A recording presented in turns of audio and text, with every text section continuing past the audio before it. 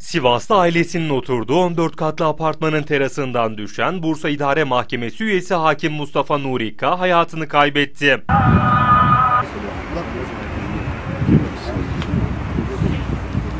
Acı haberi alan Mustafa Nuri Kağan'ın yakınları olay yerinde uzun süre gözyaşı döktü.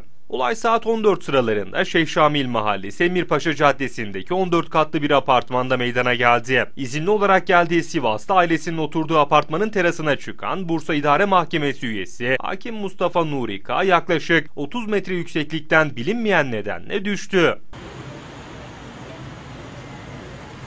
Mustafa Nuri K'yı yerde hareketsiz, kanlar içinde gören çevredekiler durumu polis ve sağlık ekiplerine bildirdi. İhbar üzerine bölgeye gelen sağlık görevlilerince ambulans alınan ağır yaralı Mustafa Nuri K, yapılan tüm müdahaleye rağmen kurtarılamadı.